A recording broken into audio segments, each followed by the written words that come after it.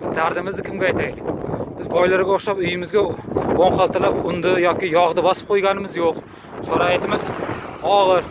Bitta onam to'rt yuz ellik ming so'm nafaqa pul oladi o'sha nafaqani evaziga tirikchilik qilyapman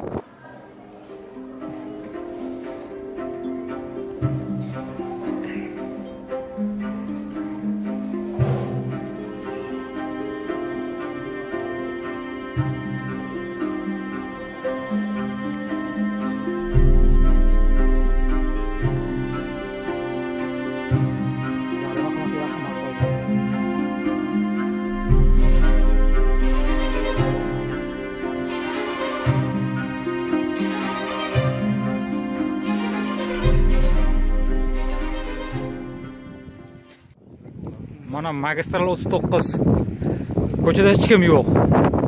Hamma uyda karantin vaqtida ish yo'q ish qidirib yuribmiz mana. Qayerdan tirikchilik qilamiz? Moddiy ta'minot tugadi. Bir hukumat vakillari o'ylaydimi yo'qmi men hayronman. Karantin bo'lgani yaxshi. Karantinga hech qanday qarshilik yo'q lekin moddiy ta'minotsiz oshxona ham bo'lishi mumkin koronavirusdan tashqari. Bunga men hayronman. Bunga bir biron bir chora ko'riladimi yo'qmi? Biron bir yangi qarorlarni kutib qolamiz prezidentimizdan. Avtomashinamizda taksi qilib turardik shahar ichiga borib shahar ichiga borib qurilishda ishlardik. Borib.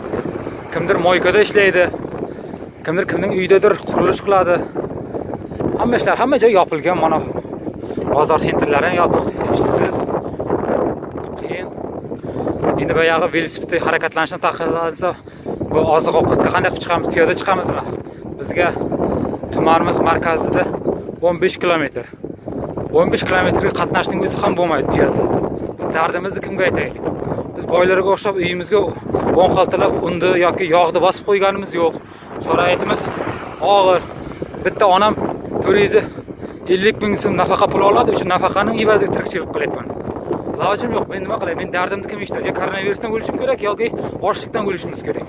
Iltimos hukumat vakillari mart oyidan boshlab jarimalarni teng yarmiga qisqartiringizlar. Ish bilan ta'minlaydi ish bilan ta'minlashni imkoniyati bo'lmasa davlat bizga bir yil muddatga qarz berib tursin foizsiz. O'sha foizni keyin bir yil muddat ichida tugab to'lab borardik. Mana ahvolimiz og'ir. Ilojim yo'q o'n besh kilometrdan oziq ovqat uchun kelyapman. Mahallamiz o'zida oziq ovqat do'koni bor lekin narxi qimmat. Ular ham tumandan olib borib sotadi. Qiyin. Ish yo'q ishsizlik.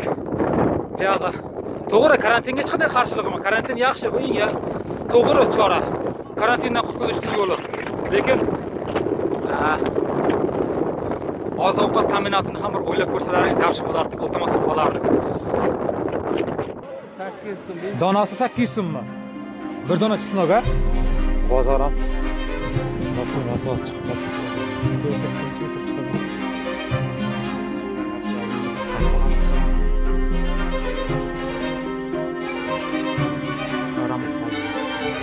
tanimasiz qiynalib qoldi ish izlab yuribdi hayron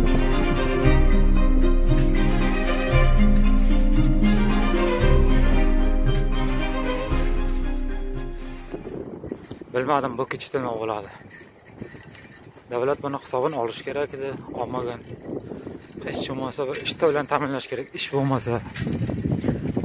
Yaxshiyam nafaqa oladiganlarimiz bor nafaqaning evaziga yashab turibmiz.